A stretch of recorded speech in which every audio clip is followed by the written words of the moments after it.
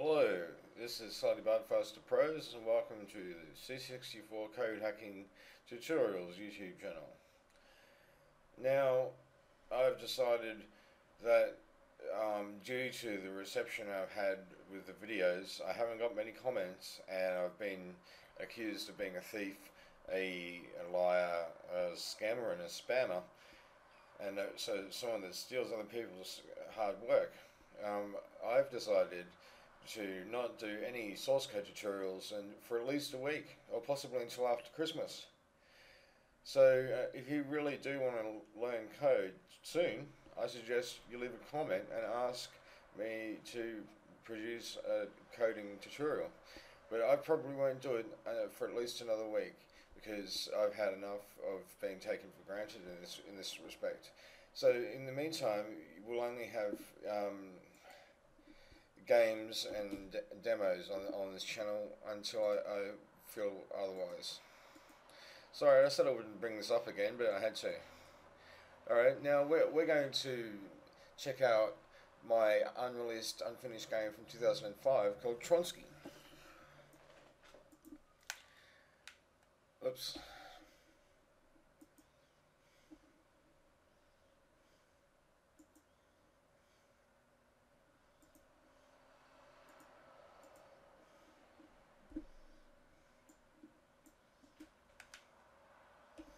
Whoops. We got the controls.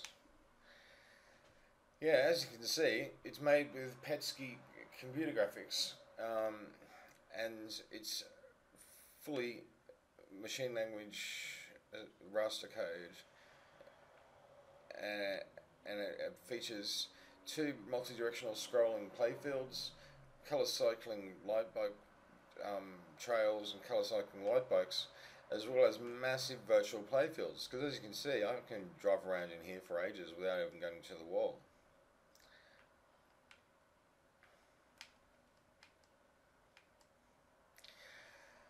Um, it's a two-player game. The only things that are unfinished, uh, it doesn't print. It doesn't print the other player's bike on, on your screen.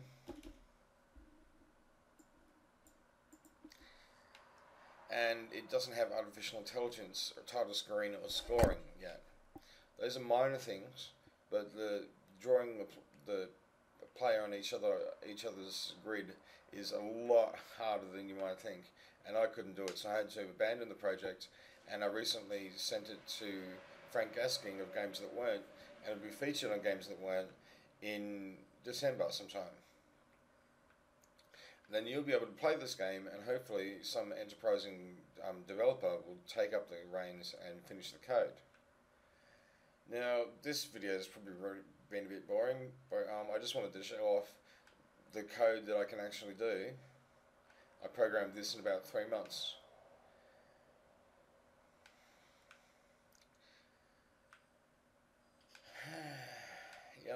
So that's what's possible using machine language and PETSCII graphics.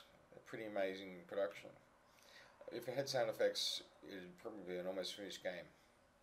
But to be actually finished, it would have to have artificial intelligence for one player mode. Because it's hard to play two player games on the Commodore 64 these days because there aren't two people to play it. Huh. Alright, that's all for this video. If you'd like more information about TRONSCII, just leave a message in the comments or um, wait for the release of games that weren't in early December. Alright, thanks a lot. I, I've, um, yeah, sorry, sorry, I only got two hours sleep last night because of the debacle on Facebook and I'm a little bit vague.